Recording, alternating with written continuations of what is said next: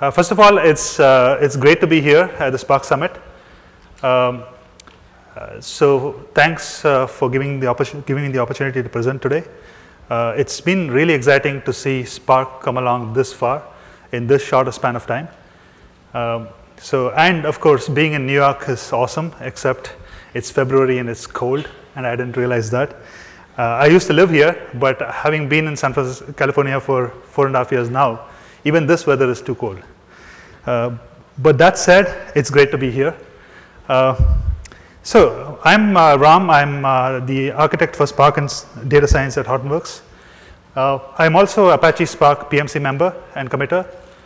Prior to Hortonworks, I was the principal research scientist at Yahoo Research, where I used to work on basically large-scale machine learning. some of the problems that I worked on were login risk detection, like how do you detect when somebody logs into Yahoo servers that they are them, they are who they say they are. Uh, sponsored search click prediction. So based on what you're searching on yahoo.com or Bing search and so on, what, what ads should we show you? Advertising effectiveness models. And uh, the general area that I worked in is called online learning. Um, so today I'm going to be talking about something called Magellan. It's a software that I've open sourced over the last few months. Um, so I'm going to be talking about, I've actually given uh, a talk explaining Magellan at uh, the previous Spark Summit in Amsterdam. So I'm going to avoid talking too much details about Magellan at, the, at, at, an introductory level.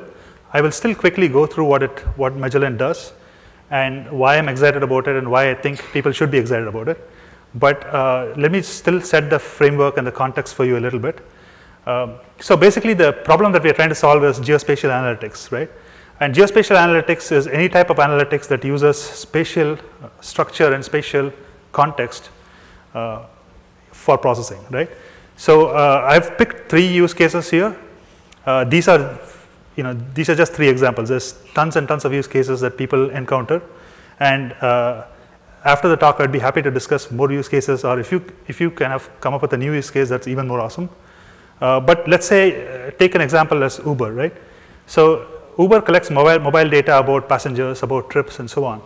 And if you're Uber, you're likely interested in things like, you know, how does the pickup and drop off neighborhood hotspots change with time, right? So sometimes it's Soma that's the hotspot for pickups and uh, drop offs in San Francisco. Sometimes it's actually a different region, uh, different neighborhood in San Francisco, and this changes with time. So a problem like this is basically a spatio-temporal analytics problem, right? And this is an example of a business intelligence query that uses geospatial context. So the context it uses here is basically you have mobile data. Somebody has to figure out, given latitude and longitude, what neighborhood of San Francisco or what neighborhood of New York is it, and then use it in an aggregate query or something. Second problem is uh, this is fairly canonical for uh, railroad companies or transportation companies and so on. So you collect GPS data. So mobile data is basically GPS coordinates. And GPS coordinates have a certain accuracy limitation on them. But let's say that you are a railroad company and you actually have very, very fine measurements about the railroad tracks.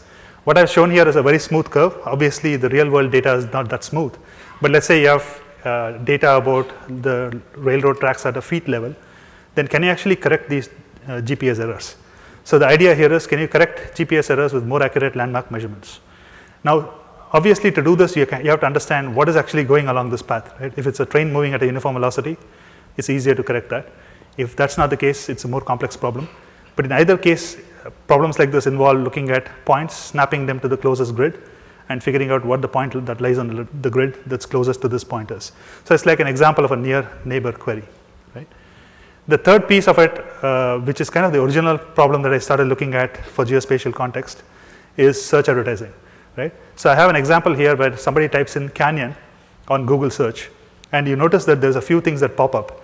Now there is some ranking algorithm that goes and figures out what do you mean here? Do you really mean Canyon Hotel, for example, or do you mean Grand Canyon, or do you mean Canyon Ranch, and so on? Now actually, I did this query in Google yesterday, and I was in New York at this time. Now Google Canyon Road, New York City shows up as the kind of fourth option here, and Canyon uh, Ranch is actually in Texas. So you know, I, I, was really not looking for Canyon Ranch, right?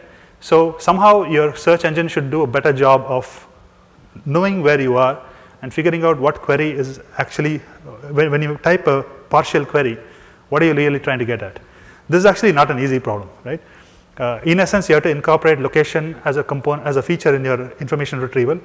And going further, it's a feature in your search adver advertising problem, right? So these are three canonical examples of uh, geospatial analytics. Okay. okay, so that said, while I'm going to describe what Magellan does and why is it so cool, uh, the first question that I have to answer is, do we really need one more library to do this, right? Anyone who's done geospatial analytics before has used a you know, variety of libraries. Actually, there's probably no single library you would have used, but you would have used a ton and tons and tons of them to do some spatial analytics problem.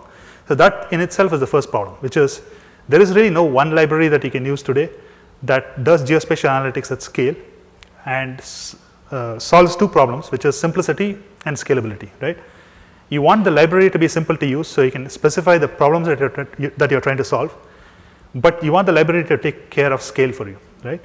So if you sacrifice simplicity to achieve scalability, that's going to slow you down in terms of development. And the combination of this is actually hard. So it's actually really cool that you know, I'm giving this presentation here because this is the problem that Spark solves for you in the first place, right? So the reason why Spark is so popular is because it, you don't have to give up on simplicity to achieve scalability, right? Um, and that's also the reason why Magellan is written on top of Spark, as I'll get into. The other piece of it is a lot of uh, geospatial libraries do exist uh, at some, you know, if you trade off on simplicity or scalability and so on, but then they don't handle some things really well. So for example, when I give you neighborhoods or when I give you kind of roads and so on, the road is just a geometry. The neighborhood is like a polygonal geometry, right? The context that's attached with it, like metadata, is what describes what is this geometry about, right? Is it a neighborhood or is it something else, right? Is it a lake or a neighborhood, right? Now, metadata is not really handled well in most uh, geospatial libraries that I know of, right? The other piece of it is indexing. So most data formats that exist today for storing geospatial data have not really thought through how to index this data so that you can make scalable queries, right? And the last piece of it is the storage itself is not very efficient. So today, anyone using Hadoop, for example, or Spark knows that you know you, you can leverage columnar storage to accelerate your queries a lot. But none of the data formats that exist today are, and are canonical for geospatial actually have efficient columnar storage. The other piece of it is, so geospatial is not just BI, right? It's not simple business queries anymore. Uh, you're starting to ask statistical questions, you're starting to ask machine learning questions. Like I, like I quickly described, the search advertising problem uses geospatial data as, as a component of a machine learning pipeline. When you do that, you want your library to not be a bottleneck, meaning just to do geospatial analysis and add a geospatial feature for machine learning, you shouldn't have to take that data, move it to some other system, run your queries there, get back the aggregated data set and continue with your processing. So one of the goals of writing Magellan was to make this whole thing seamless, right? And lastly, well, this is actually the time to write such a library. So A, there is a lot of explosion of, of mobile data. So there's actually a lot of point and space data that we collect today. There is also a very fine granularity of data collection even for geographic data, right? So for example, roads or, or neighborhoods and so on we are collecting data at a much finer grain, right? So it makes the combination of, you know, when you have combination of uh, explosion in mobile data and combination of geometries that are, you know, have a lot of data points in them, the, this really becomes a big data problem. The other piece of it is the analytics actually stretches the limits of traditional BI, right? So there is room for much richer algorithms, there's room for much richer scalable analytics here. And the last piece is this is the time to do it and this is also the time where somebody can actually do it in a sensible way because Spark SQL, Catalyst and Tungsten already exist and they go a long way in making the scalability problem simple for, simpler for us to handle, right? Uh, and I'll go through that in more detail. So today, uh, you know, now is really the first time that we've had an open source engine that's this powerful as a SQL engine and it's not, not just as a SQL engine, as an engine that allows you to extend SQL, right? Um, so, so for all these reasons, this is the right time to do this. So very quickly, I'll introduce Magellan. So basically what we're going to be talking about for the rest of the talk is uh, geometric data. And geometric data can essentially be thought of as points, polygons, and polylines. Points are easy. They are, you know, when I talk about two-dimensional points, you can think of them as a tuple of two doubles, right? Polygons basically can have holes in them or they cannot have holes in them, right? So this is a polygon which doesn't have holes in them. And a way Magellan represents this polygon is uh, the array of indices has size 1. There's a typo there. There should be a size 1 array. and the array of uh, values has uh, size which is the length of the number of uh, vertices, right? So for example, this one has ver uh, vertices 0, comma 0, 1, comma 0, 2, comma 0, sorry, 2, comma 1, 1, comma 1, and so on. So uh, the way it is represented, it's represented making a counterclockwise turn. Uh, that's just convention. You could represent it using clockwise turn as well. And if you have holes in this geometry, then you basically have to tell Magellan, or Magellan has to tell you where the where the uh, contours start, right? So the outer contour starts at uh, edge uh, at index 0, the inner contour starts at index 5, and then you have a list of vertices. Okay? So it's a fairly tight representation as far as representing the data structure itself goes. Now how about reading data, right? So uh, if you're familiar with geospatial data, there's a bunch of formats uh, for storing this data. Two of the most common formats are called shapefiles and GeoJSONs. So let's assume that you have the New York City uh, neighborhood map stored in either shapefile format or GeoJSON format. What we allow you to do is we allow you to read this as a data frame in Spark SQL, right? So the, the code that you will write to read this is basically you will, you will tell the SQL context that you're using Magellan as the data source, and then you'll give it a path to load the data from. Now, if you have to load GeoJSON, you just tell me that, tell us that the option, uh, that the, the, the, data type is actually GeoJSON. Either way, what you get is basically, uh, you know, logically a table. The table has two columns in this case uh, because it's neighborhood data. It's a polygon and it has some metadata. Metadata is represented as a map, right? In this case, metadata is basically the neighborhood and the value is Marina because this is uh, San Francisco. Uh, cool. So uh, that's, that's as far as reading data goes. What about uh, queries, right? So here's an example query in Magellan, right? So you have some data that you've already read. You could have, you may have cached it or you may not have cached it. Now, once you have this data, which is represented as a data frame called neighborhoods, what you can do is you can, uh, you know, you can ask for all the polygons, all the neighborhoods that contain a given point, right? Now, obviously, there's only one neighborhood that's going to contain a given point, or at most one neighborhood that's going to contain a given point. In this case, it turns out that that point happens to be in North Beach. So the result of this filter is going to give you a new data frame, which has exactly one row in it, right? So the, the thing to notice here is that it's expressing the query is super simple, right? It's, it's, if you're familiar with Spark SQL, this is just very much Spark SQL. The only difference is that we have like an SQL extension that allows you to kind of define things like shape literals. So given a longitude and latitude, point of longitude comma latitude gives you an expression that's a literal, right? Similarly, we have a within operator, which basically is a binary expression. It's a Boolean expression, right? It takes uh, two, uh, two uh, it takes two things, basically two shapes, and figures out whether one shape is within the other, and so on. So that's as far as kind of queries, simple queries go. What about joins? So let's say you may have a table of uh, neighborhoods and you may have a table of trips. And you may want to say, well, each trip gives me basically latitude and longitude and I want to know what neighborhood does this point lie in. Essentially what you're doing there at that point of time is a join, right? And joins are easy to describe here. Basically, it's as simple as what you would say in English the points dot join neighborhoods where point is within polygon, right? Super simple. Uh, and the result of that is uh, basically gives you point, polygon, and metadata as the new data frame, right? Okay. And you can also do near neighbor queries, for example. Uh, if you think about it, a near neighbor query is basically equivalent to saying that uh, instead of looking for polygons that are close to a given point, I can basically buffer the point by a certain distance, create a geometric object out of it, and look for every other polygon that intersects that object.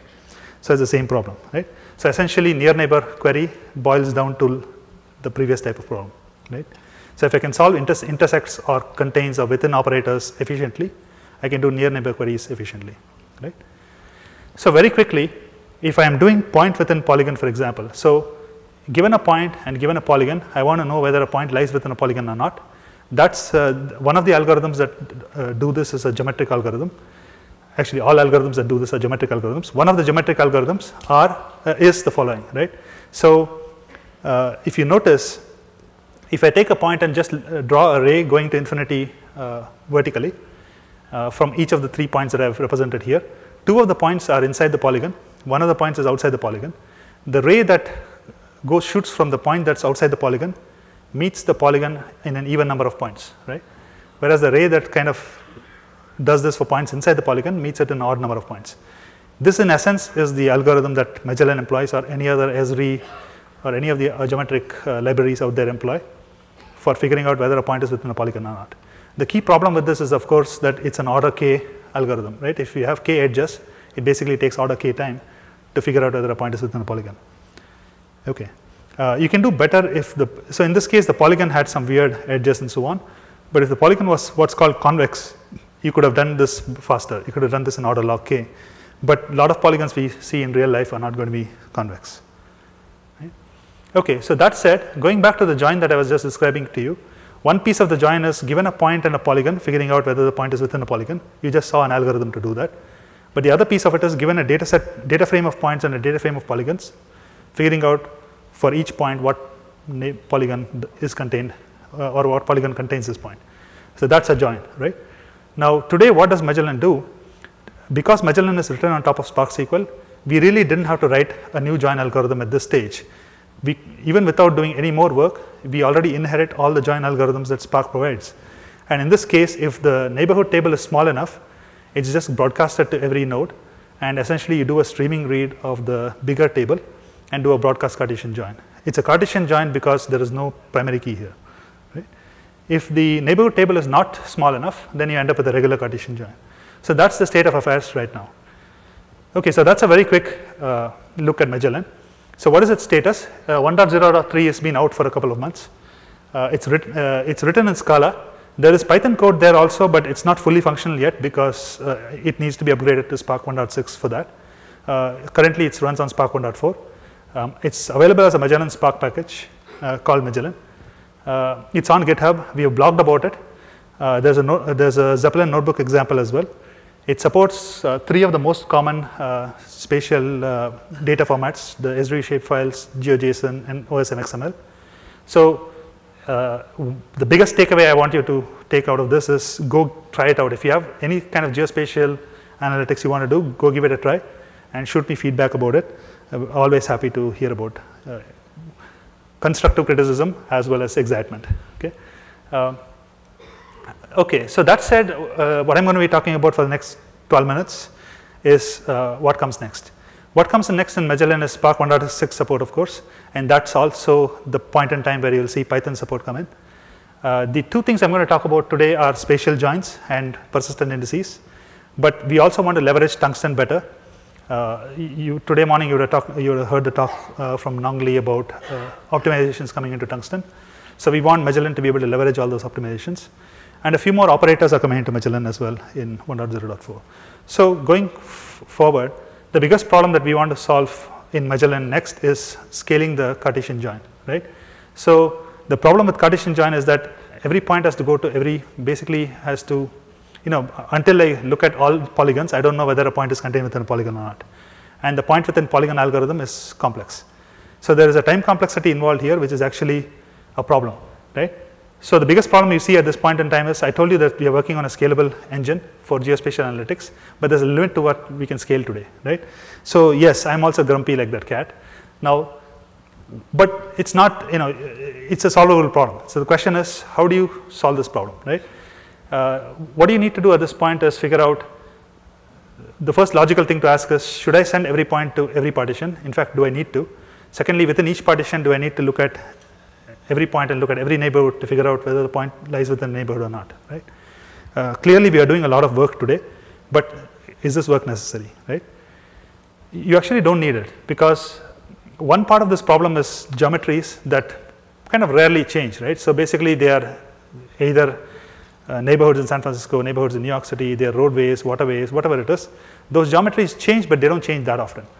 So you can easily index those geometries and if you can find the right way to index them, then lookups is not going to be that hard, right? So you convert this problem into a pre-processing followed by a faster query processing problem, right? So once you start thinking about indices, there is very many indices, there are very many indexing techniques that you can look at. Uh, so some of them are quad trees, R trees. Uh, there's also dimensional reduction. Uh, in dimensional reduction, I'll quickly talk about uh, space filling curves. So basically, what happens in dimensional reduction is instead of looking at two dimensional indices, we want to look at one dimensional indices, right? Somehow convert the two dimensional problem to one dimensional problem. Now to do that, I need a one dimensional reduction which preserves nearness. So if two points are near in the two dimensional space, I want them to be near in the one dimensional projection as well. And I want to somehow enable range queries, right? One of the nice things about one dimensional indices like what B trees provide for you is range queries. And, I, and in the case of approximate reduction, for example, I want to have as little collision. So the first way you could have done this is break up your space, in this case a small uh, square, into a few uh, pixels, and then just do a, a, row order traversal, right? So in this case, I can start numbering from 0 and say uh, 0, 1, 2, 3, 4, 5, 6, 7, 8, 9, uh, 5, 7, 8 are the uh, points. So each, the square on the left will be uh, 0.0, the square on the bottom right will be 0.8. But the problem with doing this is that the squares, the the left, leftmost square and the square that's right below it differ by the number of, uh, differ by the dimension of the horizontal space, right? And that can be arbitrarily large. So it violates the property that two points that are near to each other in the two-dimensional space end up being too far from each other in the one-dimensional representation. Same problem with the snake order curves, curve as well. What happens to work is something called a z-order curve, and a z-order curve is as we have seen here. The nice thing about a z-order curve is there's a recursive definition of the z-order curve, right? So this curve actually, if you keep doing this recursive construction all the way through, it's going to start filling the space completely, right? It's what's called a space filling curve. So with the z-order curve, you can actually put a binary representation to it. In this case, you can think of the leftmost top left corner as 0, 0, bottom right as 0, uh, as 1, 1. So traversing the z-order representation is like going higher in binary representation, right? The nice thing about it is if I now recursively define this at two more levels, I get this representation. So nice property here is that everything that starts with 0, 0 is within the first square that I described, right? So it has a nice containment property. So the properties are locality, two points differing by one bit, for example, are close to each other. It's got containment as a property. It's very efficient to construct. If I know the x and y coordinates of a point, I can give you the binary representation right away, and vice versa. And it's got some nice bounds on how accurate this is. And if you're familiar with geohashing at all, geohashing is basically z-order curves where you take the binary representation and convert it to a 32-bit base, 32-bit uh, encoded string. So I'm going to skip a bit about geohashing and stuff like that. So once we have this kind of a scalable, uh, this kind of a way of constructing spatial indices, how do you speed up joins? The way you speed up joins is you pre-process the points. For each point, figure out the geohash or the spatial index associated with it. For each neighborhood, you won't have a unique index or a unique geohash, you're going to have a collection of them. So on the one hand, you have a single geohash for a point, uh, a particular shape will be covered by one or more geohashes, and then you can just do inner join by the geohash, right? So when you do inner join and geohash, you're now not sending every point to every partition, right? So this actually speeds up the, the computation quite a bit. There's a little bit of an edge case here because the squares that cover the, the geometry have a certain precision, so even though a point and a polygon may share a geohash, it doesn't mean the point is within the polygon. It could happen that they just share the same box, right? Uh, so there are edge cases that you have to deal with, but you won't have too many edge cases if the polygons are well, you know, uh, fill the space well enough, right? Okay, so that's basically the, the uh, upshot. So essentially Magellan 1.0.4 is working on spatial joins and spatial joins solve this problem of you know, being able to laterally scale these kind of joins. Uh, and in Spark SQL, because Spark SQL is written in an extensible manner, it's very easy for us to plug in all these algorithms right into Spark SQL. What we do is basically define a new strategy uh, called a spatial join strategy. The strategy decides whether it's even worth it to do this join in, a, in this manner, right? There are some scenarios where it's just too much work to do this and it's faster to just do a broadcast Cartesian join. In that case, we just fall back to the canonical join. Otherwise, we handle this ourselves and we override the binary node to figure out how, how the physical execution plan should look like. And then we stitch it up together as an experimental strategy in Spark SQL. So that's basically a quick uh, description of what Magellan does uh, and uh, where, where we are going next. And the big problem that we are trying to solve is spatial joins, which should make scalable geospatial queries happen, uh, you know, not only happen, but uh, happen under the covers without you having to worry about it. The nice thing about it is when we release 1.0.4, because of the way it's written on top of Spark SQL, we add a new spatial join strategy, and everybody who's using the previous version of Magellan already gets this enhanced join. So you don't really have to kind of worry about these kind of joins and so on. The framework takes care of this for you, right? Again, this is possible because we've kind of hijacked Spark SQL to do this. Uh, so it, it wasn't too much work on our side. So basically, the simple answer here is the join implementation was too slow. We leveraged spatial indices, which is a construct in, in geometric algorithms, and Catalyst, which is a property of Spark SQL, to fix this problem, right? Uh, so I think I'm going to end with this basically. Um, so uh, my Twitter handle and GitHub coordinates are here. So feel free to reach out to me if you have any more questions about uh, Magellan. I think that's it. Cool. Uh, thanks very much. Uh, we've got about four minutes for questions, so raise your hand and I will run to you to ask the question. So, first one here. Okay. Hello. Um, hey. Did you have a reason for using GeoHash versus Rtree or Quadtree? Or I mean, yes. Did so, you look at the performance difference? Yeah, yeah. So uh, uh, we actually don't use geohashes. We use z-order curves, but geohash is the same thing when you fix the latitude, longitude, and do this. So geohashes are nice because you get the nice string representation, but the problem with geohashes is that they work only with longitude, latitude, right? A lot of times you take very accurate measurements in custom coordinate systems because it allows you to kind of go past the GPS coordinate limitations. Um, so, you, so you need something that works with very accurate custom coordinate systems, which the z-order curves do. But short answer is that uh, there isn't much of a performance difference in this kind of setting uh, when you're scaling out between uh, R trees and uh, z-order curves. Actually, quad tree is basically a z-order curve, right? Once you have the z-order curve, you, are essentially getting to the, the, the leaf node of a quad tree, right? Uh, but it's a lot easier to construct this, and it's a lot easier to, once you have these indices constructed, you can kind of now you, can have a scenario where you dump these indices somewhere and maybe pull it up in Elasticsearch and so on and run aggregate queries on top of that. You already have everything you need. Otherwise, I would have to re-implement the R-tree algorithm in a completely different environment and so on. So it's just much simpler to deal with. Uh, and performance is really, it's fast enough. Yeah.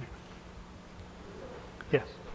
So just a quick question about syntax. Earlier you were showing us this point within polygon yeah. syntax. Can you do that in Python? Because you mentioned the next. Yeah, yeah, yeah. You can do this in Python as well. Uh, in Python, it's uh, in Spark SQL in Python you'll do a point dot within. Uh, but in Scala you can uh, you can avoid the dot. It's just a syntactic sugar that you get in Scala.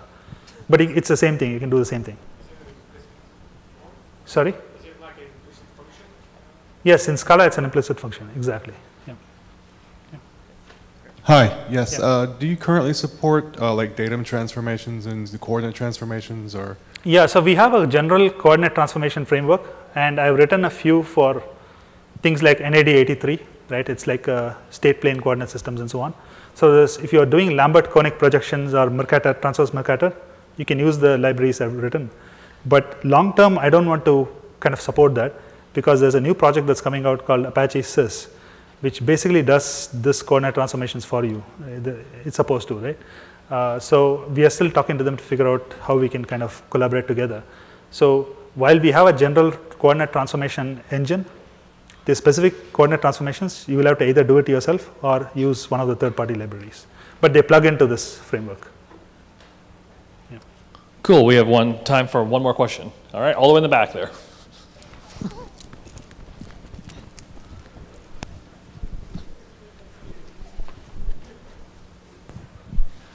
Hi, does Magellan currently have support for map matching? No, so I started working on that, but it's kind of been on a back burner for now. Uh, it's a very good question. So map matching is a super interesting problem. Uh, we haven't done enough work on it. So it's, it's, on, a, it's, on, uh, it's on the roadmap, but uh, we, we can catch up offline as to what we've done. Cool. Well, thanks very much. Uh, thanks, Ram, for this awesome presentation.